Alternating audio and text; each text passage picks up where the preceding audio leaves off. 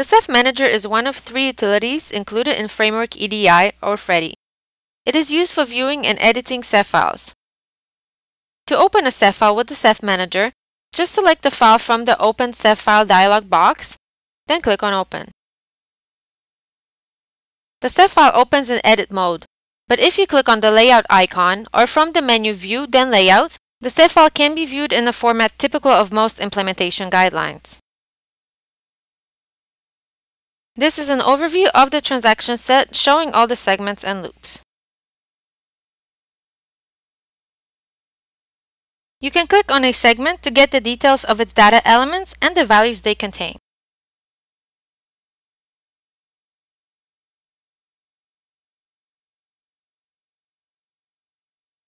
To go back to edit mode, just click on the document icon.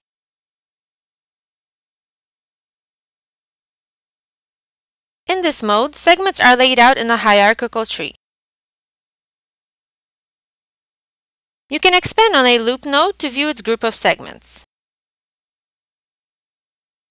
And further expand on a segment to see its data elements. If a data element is of type ID, you can drill down further to view the code values it can hold. To make changes so as to follow your trading partner's guideline, just right-click on a segment node and select an action from the menu.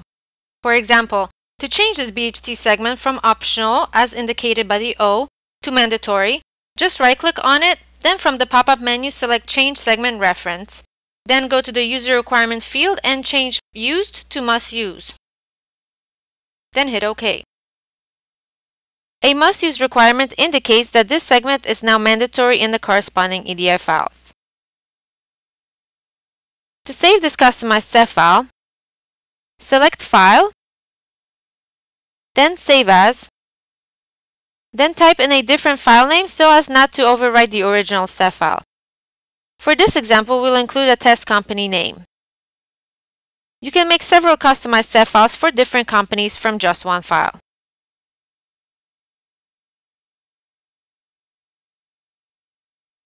For more information of the SEF Manager, please visit our website at www.edidev.com.